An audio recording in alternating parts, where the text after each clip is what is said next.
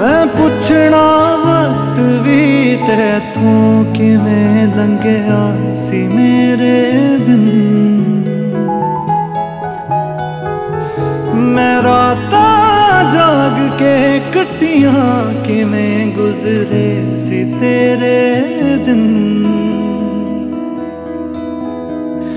ਮੈਂ ਸਜਣਾ ਫੇਰ ਤੇਰੇ ਲਈ ਆਪ ਜਰਨੀਆਂ ਨੇ, ਜਦ ਮਿਲ ਕੇ ਬੈਠਾਂਗੇ ਤਾਂ ਗੱਲਾਂ ਬਹੁਤ ਕਰਨੀਆਂ ਨੇ। ਕੁਝ ਮੇਰੇ ਰੋਣ ਦੀਆਂ, ਤੇਰੇ ਵੱਖ ਹੋਣ ਦੀਆਂ, ਤੇਰੇ ਵੱਖ ਹੋਣ ਦੀਆਂ, ਤੇਰੇ ਵੱਖ ਹੋਣ ਦੀਆਂ। ਗਾਣਾ ਛੋਟਾ ਸੀ ਨਾ ਆਈ ਨੂੰ।